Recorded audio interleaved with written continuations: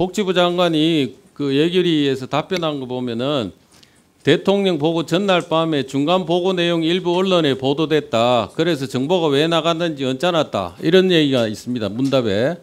이 저 그 당시에 보고할 때 이런 얘기들이 오고 갔습니까? 어, 이미 보고하기 전에 언론에 났기 때문에 예. 어, 저희가 파악하고 있는 상태였고요.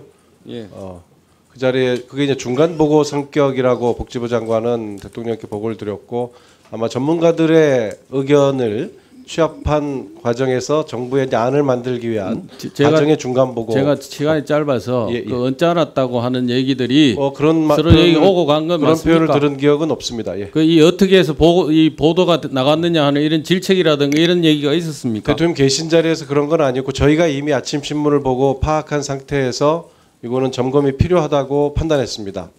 아, 그 이제 비서실장은 이 어떻게 유출됐는지 판단 어, 그 확인해야 되겠다는 생각을 네. 하셨다는 거네요. 아침 현안 점검 회의를 비서실장이 주재하는데 그렇게 판단했습니다. 아침 현안 점검 회의 때 이미 판단하신 거네요. 예. 그 그날 오후 2시에 이 복지부 직원 얘기에 하면 2시에 국민연금 정책과장이 서울 정부청사 창성동 별관 특별감찰관 사무실에서 어, 그 감찰을 받으면서 어, 질의응답하고 뭐그 그 과정에 핸드폰을 제, 어, 제출했다고 합니다.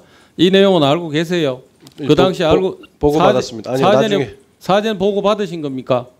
아니 감- 특별 감찰이 필요하다는 사실은 제가 보고를 받았고요. 예. 어 그리고 지금 말, 말씀하신 내용은 후에 어, 보고를 받았습니다. 음, 그러면은 감찰 지시를 지금 민정수석이 했느냐, 뭐 비서관이 했느냐, 제가 그걸 물었는데 실장님이 지시하신 거네요.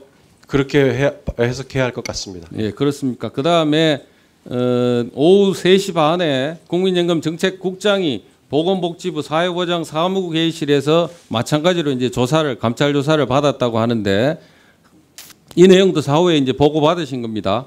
예, 국장, 과장 두 사람에 대한 조사가 이루어지고 있는 것으로 제가 아, 보고받고 있습니다.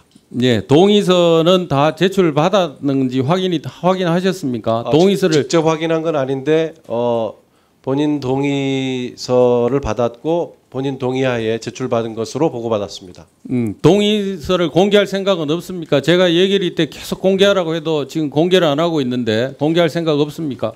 예, 의원님 민정업무는 저는 저보다 의원님께서 더 잘 아시리라고 생각하는데 죄송하지만 제출하기는 좀 어, 어렵다고 보고 제출이 있습니다. 아니라 국민들 의, 의혹을 풀기 위해서 동의서를 공개하는 게 옳지 않습니까? 어, 민정업무 특성 특성상 좀 아니 곤란하다고 보고 민정업무 있습니다. 네. 특성이 그거하고는 관련이 없는데요. 그 국민들이 의혹을 가지면은 도리어 그 적극 해명해야 될 것 같은데 그렇게 생각하지 않습니까? 예, 의원님 죄송하지만 좀 견해를 달리 하고 있습니다.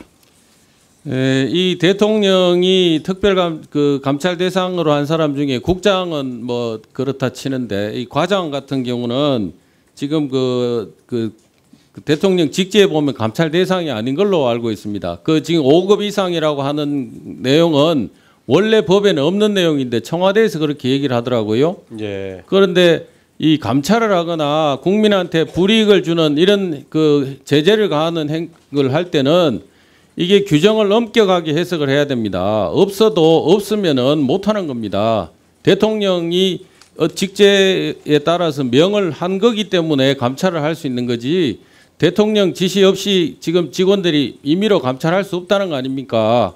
그런데 답변이 행정기관 소속 5급 이상 공무원은 임용할 수 있기 때문에 할 수 있다고 이제 그렇게 말씀을 답변을 했는데 이 답변한 국가공무원법 32조 1항을 보면은 행정기관 소속 5급 이상 공무원과 고위 공무원단에 속하는 일반직 공무원을 구분해서 얘기를 하고 있습니다. 그래서 그 정 그 청와대 설명처럼 5급 이상 공무원을 그 직접 감찰할 수 있는 게 아니고 대통령 임명하는 고위 공무원단에 속하는 일반직 그 고위 공무원들 이 사람들을 감찰할 수 있는 거라고 저는 생각합니다. 이건 뭐 법적으로 사법적으로 이제 나중에 따져봐야 되겠지만은 그 그런 이 법리에 대해서 의원님 저희들은 이제 이렇게 해석을 하고 있습니다. 어, 대통령이 임명하는 이제 대통령이 임명하는 행정부 소속 고위 공직자로 이제 그 대통령 비서일 직제 특별감찰반 조항에 그렇게 돼 있는데요. 결국 이제 감찰권이라는 것이 결국은 대통령의 인사권과 양면의 문제라고 생각합니다.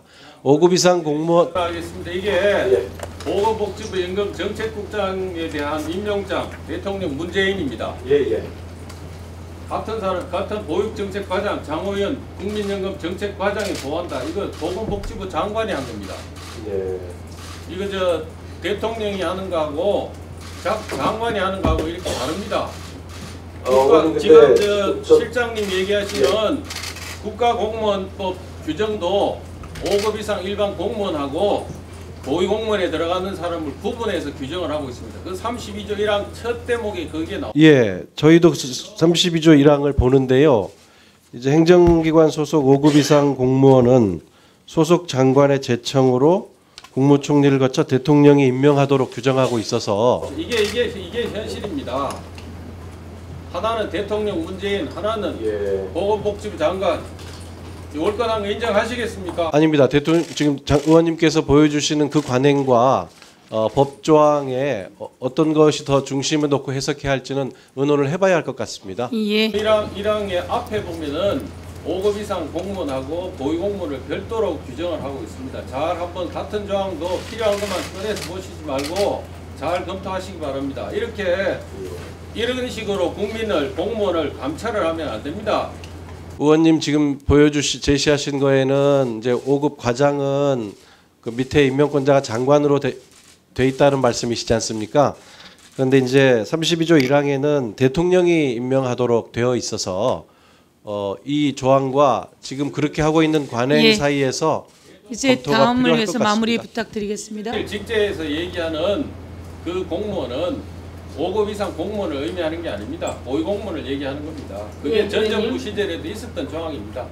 예, 마무리